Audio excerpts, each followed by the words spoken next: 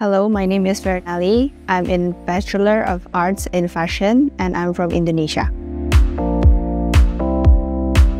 I joined Raffles because of its program that gives three years all in one from diploma to bachelor. I enrolled Raffles back in October 2021 as a diploma student in fashion and then continuing my studies as an advanced diploma student in fashion in April 2022. And currently I'm pursuing my bachelor degree in arts and fashion in January 2024.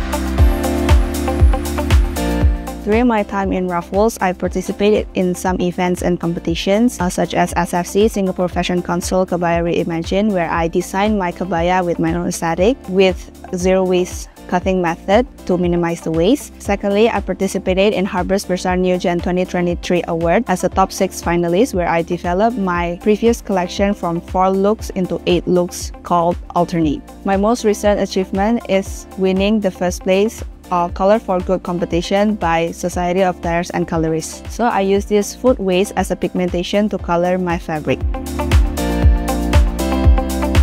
My collection is called Serenity, where it's influenced by the Bloomsbury Group silhouette. Bloomsbury Group is a group of community that embraces a different norm that I incorporate that idea to my collection, which nowadays people are mostly restricted with what they wear and I want to embrace this freedom through my collection.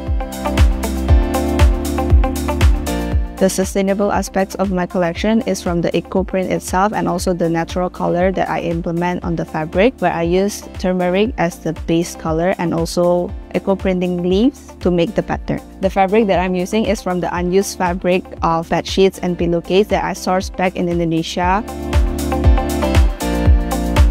From my research that I've conducted, they are getting stressed because of their constant connectivity to the gadget that makes them anxious. I am bringing this natural element through my garments to give this sense of outdoor and nature to them.